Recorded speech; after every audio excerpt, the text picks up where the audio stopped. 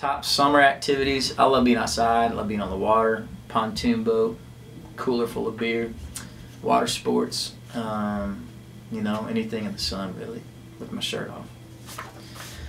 Top summer music festival must-haves would be um, a lawn chair. I hate standing for hours and hours. I gotta have a place to sit down. Um, some beer again, maybe some uh, sunglasses, and uh, other stuff that would not be legal.